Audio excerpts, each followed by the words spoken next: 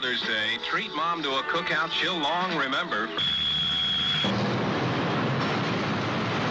Well, will you be able to confirm that? Because it's rather important. Today we have a high of 82 with some showers later this afternoon. The 30, 30 from Manchester due to arrive at We live in a super complex world in which the population grows at a horrifying 100,000 people every day. Across the globe, hundreds of nations speaking hundreds of languages do their best to mix together peacefully. But it's not always easy to maintain a united, harmonious society.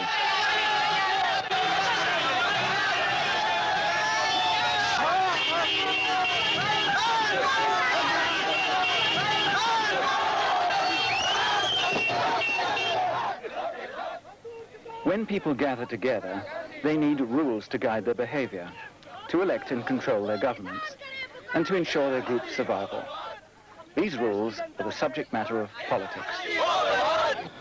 In the last program, we discussed the way in which the mighty micro will transform the world's economic system by greatly reducing the working week and vastly increasing the standard of living. But economics and politics are inextricably linked, and if one part of the social system changes, then so must the other. In the early 19th century, the Luddites set out to destroy the machines which they thought would put them out of work. It was just the first manifestation of a general suspicion of technological innovation and change, a trend which continues to grow.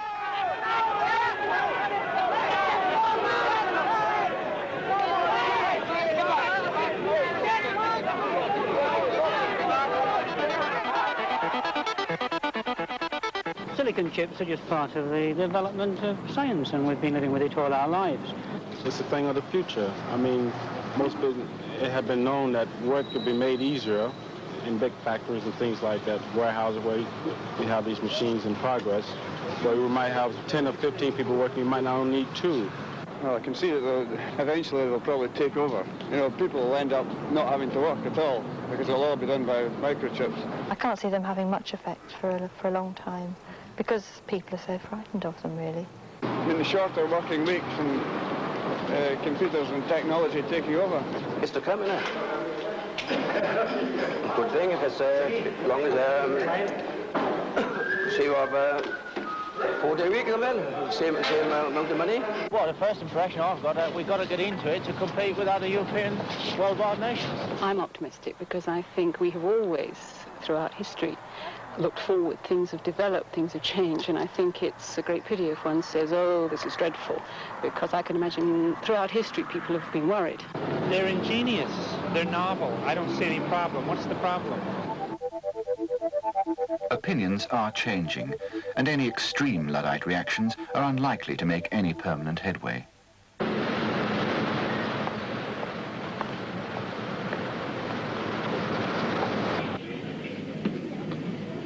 Any trading society like Britain, which tries to ignore the microprocessor, will soon find itself on the verge of bankruptcy. No political party in this country, in Europe, Japan or America is likely to pin its colours for long to the anti-computer lobby. The first really radical change in politics is likely to come in the way they're administered. The democratic system is at best slow and cumbersome, at its worst, more or less totally out of touch with the way the electorate thinks. If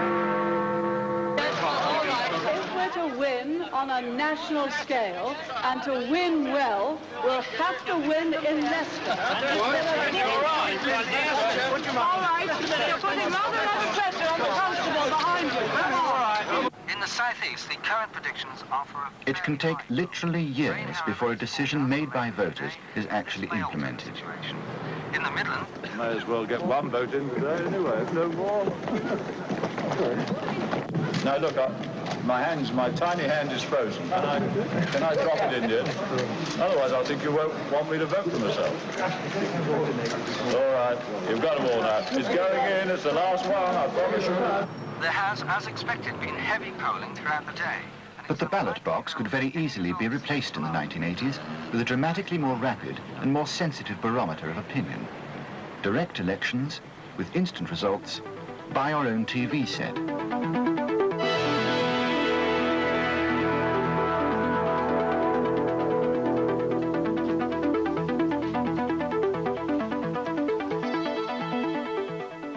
Issue in question could be relayed on a special TV channel and be put to the vote on the spot. Okay, Sector TM3, that's our constituency. Viewers will merely signal, via a simple keyboard, how they feel about the issue, and the computer at the broadcasting centre will produce a result within seconds. Mannering's ours. Vote now. Okay, let's see. Mannering's A. This kind of instant feedback is already being experimented with in America and Japan. Coming up in a sec.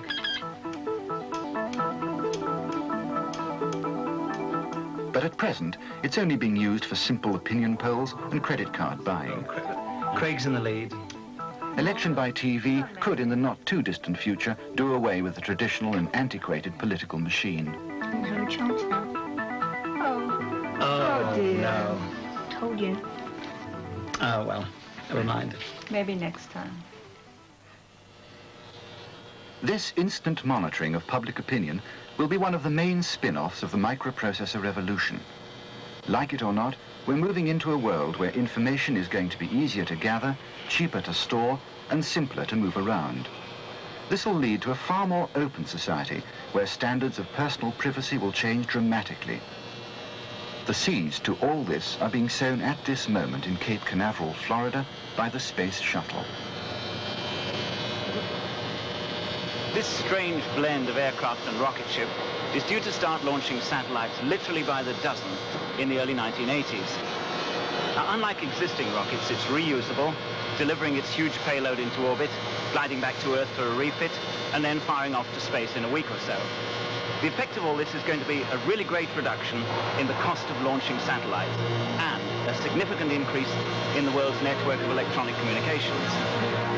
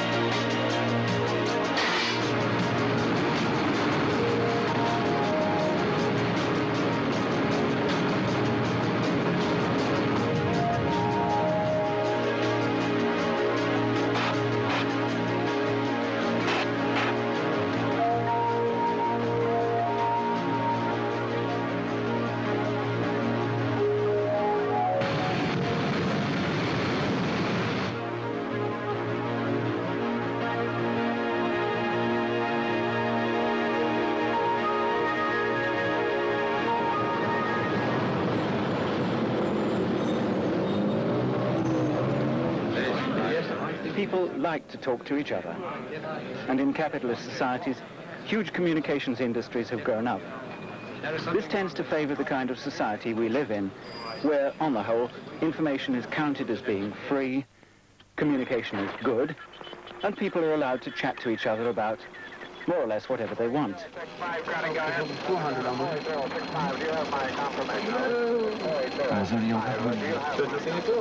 Break one four, break one four. Come back, Freaka.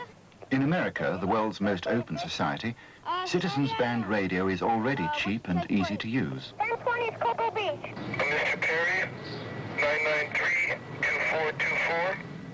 The Bell telephone system has already approved a cordless phone which allows calls to be made more or less anywhere. Okay, thank you very much. You want to hold those calls? I'll be in in 15 minutes, okay? The coinless phone, the trend towards the cashless society, for credit card users only. 424024. Hello? Oh, hi, Nance. It's Chris. I'm... Fantastic new communications devices such as two-way wrist radio phones could be on the market in the next few years and will accelerate the trend towards a more open society on a global scale. I'll see you in about an hour. Okay, bye-bye.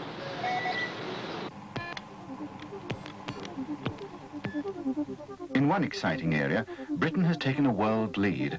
The post office's Prestel system, already in operational service, connects you to a giant computer via your telephone line. Over 100,000 pages of information, with more to come, can be called up on a specially adapted television set.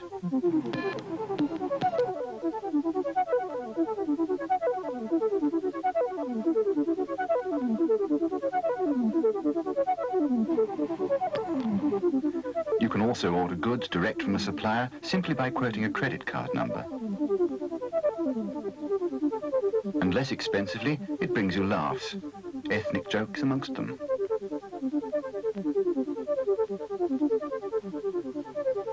Even your daily horoscope, a little device connected to the TV set, will give you a print of anything you call up. It's not difficult to see how substantial changes are going to take place in Western political systems as the result of all this. But these changes are nothing in comparison with those that are going to occur in communist countries. In 1917, a popular revolution overthrew a cruel feudal autocracy in Russia and introduced a radically different notion of politics, communism.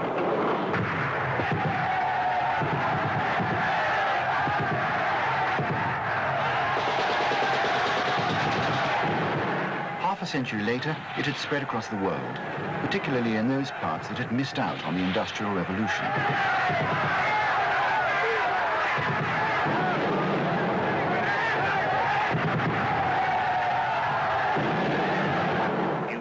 But communism, as it's practiced now at any rate, stands in grave danger of missing out on the computer revolution. The reason is that the microprocessor is a device which begs to be mass-produced. And yet, mass production on a really large scale is absolutely dependent upon Western capitalistic methods of distribution, creating a market for relatively trivial items which people don't need, but which they want, and which can be sold at incredibly low prices as a result. Mm.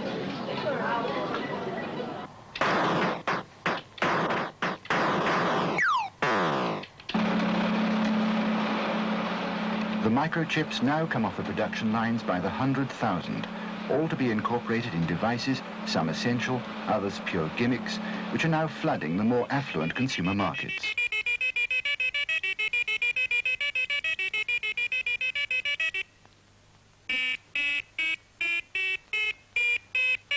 This musical calculator is the sort of thing that's virtually unobtainable in Russia and which has now replaced jeans as the most popular smuggled item.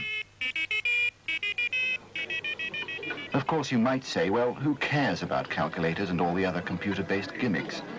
Communist societies will probably be better off without them. But they won't. Computers are already a vital part of any nation's economy, and Russia, a decade or so behind the West in its computer technology, is already getting worried about its dependence upon Western computer imports. The British firm ICL, for example, has had to be called in to run the timing and the scoring for the 1980 Moscow Olympics, as there wasn't a Russian computer up to the job. But there's more to it than this. As we explained in a previous program, the shift to a computerized society is going to lead to a startling rise in affluence. But it's a rise in affluence that isn't going to be shared by computer backward nations. By the mid-1980s, if the present trend continues, the growing difference in affluence between communist and capitalist systems, caused almost entirely by the rise of the microprocessor, will be obvious to all. Shuttle-launched communications satellites will mean the arrival of global television, crossing all national frontiers, relaying all kinds of information. And this general easing of communications barriers will mean that in a tightly controlled society where the flow of information is severely restricted, a major political reappraisal will become inevitable.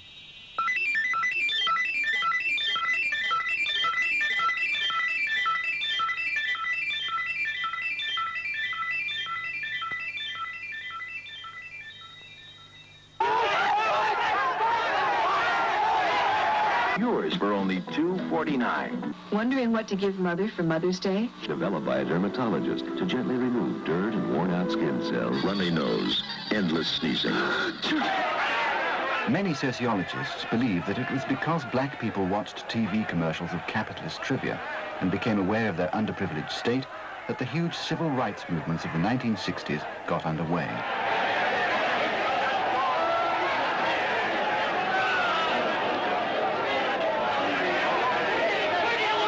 Save $102.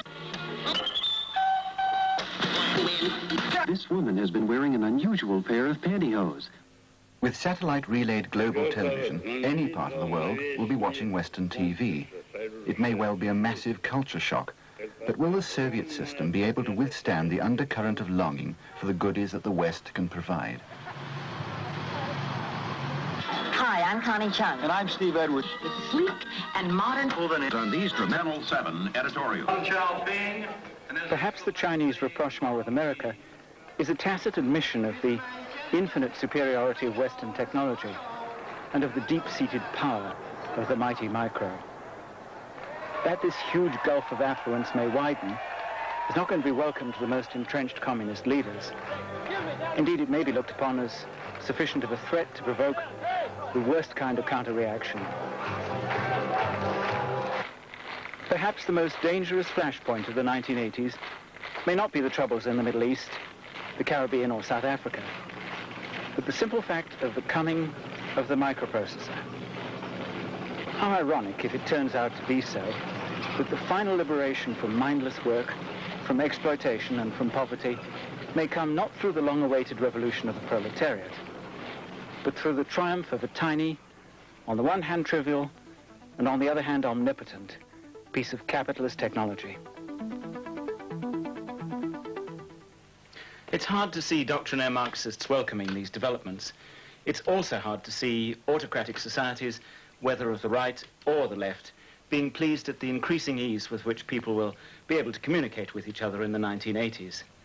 The possibility of a determined effort to sabotage the microprocessor revolution or even to launch a diversionary war can't be ruled out. Curiously and perhaps significantly, the computer might find itself with a brand new role here, that of preserver of the peace.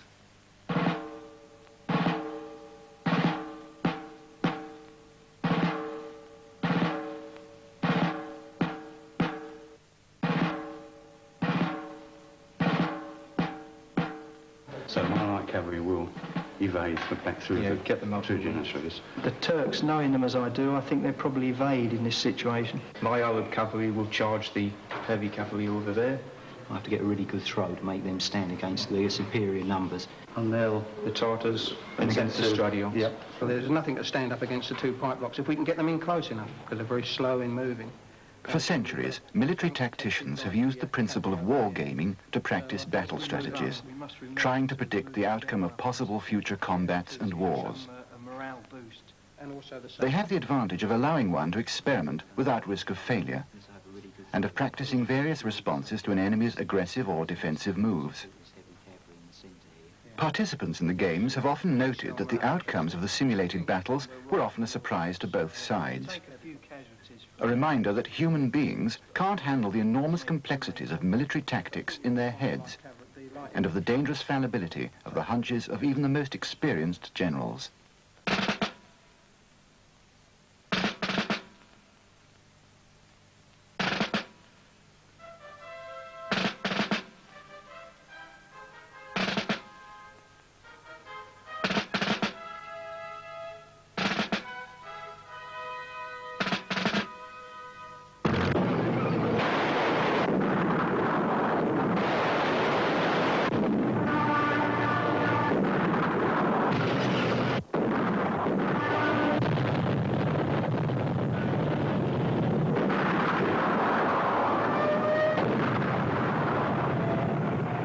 Games reached great heights of realism in the Second World War, but they've entered a new dimension of realism with the arrival of the computer.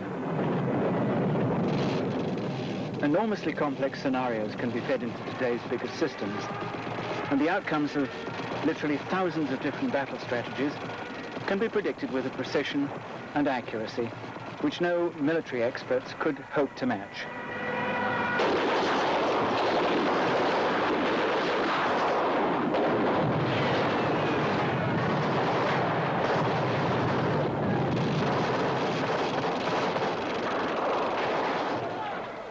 Furthermore, the computer delivers its judgments without emotion or bias, considering only the cold facts of the matter.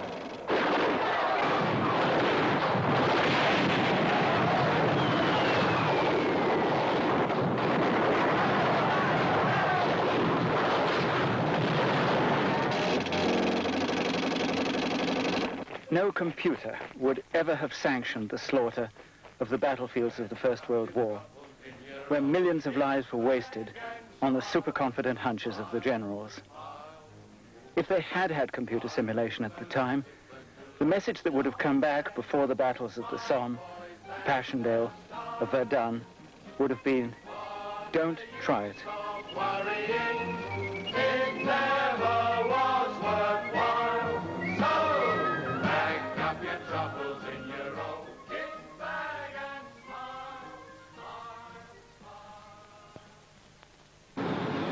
Alas, we didn't have computers then, and the fanaticism of the military mind had its way. Today, they play a crucial role in the strategic planning of the major powers, and while their methods and their predictions are, of course, shrouded in secrecy, it is known that they were used extensively in Vietnam and may even have persuaded the United States to pull out of what was becoming a hopeless conflict. In fact, there are rumors that the Pentagon advisors paid so much attention to the computer simulation that unscrupulous generals attempted to doctor computer programs in order to get them to support their own battle plans. Since the First World War, a new and sinister factor has crept into the picture. Nuclear weapons, if employed, will make both sides losers, and no properly programmed military computer would ever be likely to sanction their use for just that reason. No matter how adamant the pleas of the General Staff, how clever the arguments of the military commanders, the computer's cold logic will always prevail.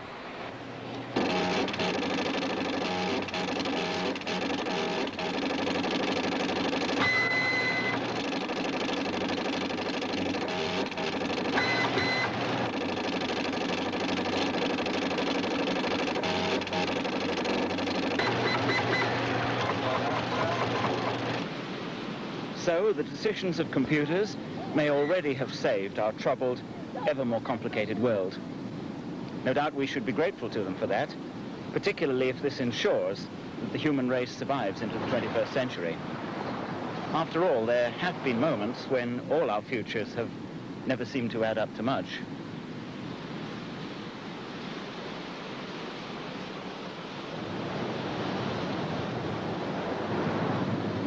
If this is so, then we've already begun to surrender decisions about our lives, about the control of our world even, to computers. And we're going to surrender even more in the years to come. In our next program, The Introverted Society, we're going to look at the reaction of the average human being to the spread of the mighty micro and at the considerable social consequences of the computer revolution.